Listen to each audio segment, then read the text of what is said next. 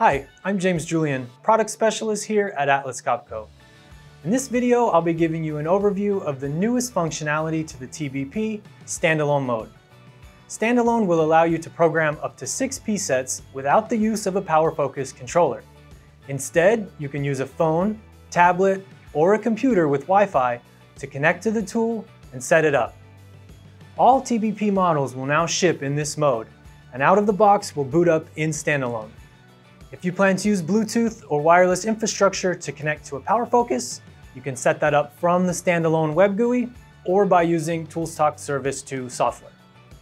Setting up TBP standalone is very simple and can be completed in just a few steps.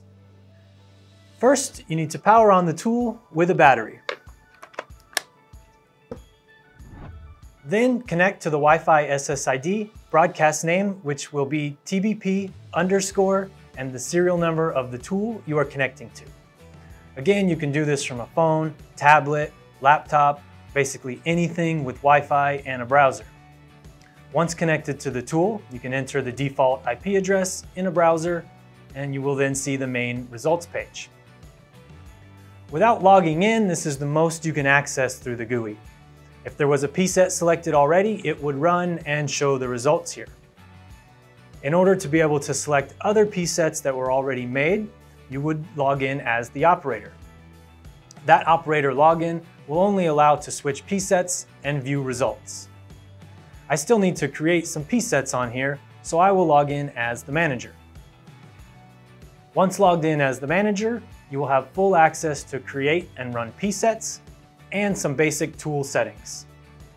In the tool settings, you can connect the tool to a PowerFocus via Bluetooth or Wi-Fi, and even enter in the factory network settings. You can also change the reporting units from here and the passwords to connect and log in.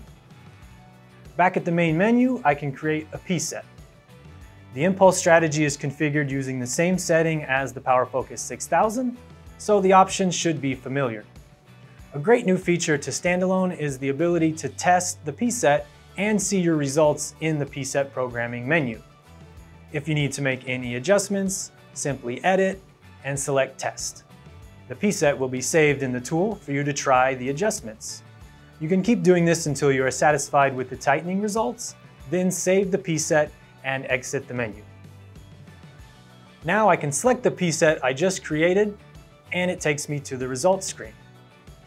The tool now runs and is ready for operation. Live results are shown here, as well as the option to switch P-sets or log out.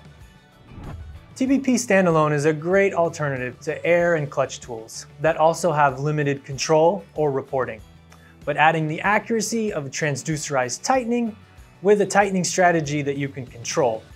This makes the TBP uniquely positioned to be the first step in the transition to Industry 4.0, with the ability to easily connect to a PowerFocus in the future. I hope you found this video helpful. For more information, please contact your local Atlas Copco representative. Thanks for watching.